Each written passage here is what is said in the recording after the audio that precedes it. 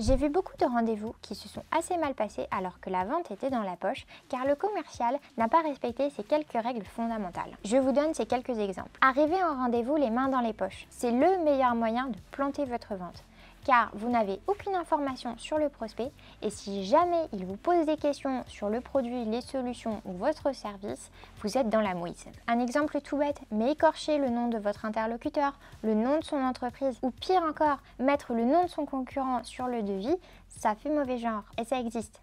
Je l'ai vu. Bien évidemment, ayez l'air dévoué à votre prospect. Cela passe évidemment par des recherches, mais également par une posture d'écoute. Sachez lire entre les lignes et ne partez pas sur une idée préconçue. Écoutez-le de manière à lui proposer la meilleure offre possible qui correspondra vraiment à son besoin.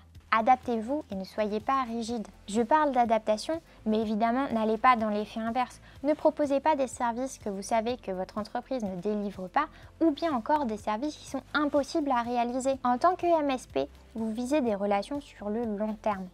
Par conséquent, si vous proposez des services qui ne sont pas réalisables ou qui sont impossibles, votre client va partir avec pertes et fracas. Et surtout, la réputation de votre entreprise va en pâtir. Ne faites pas ces erreurs et normalement, tout ira bien.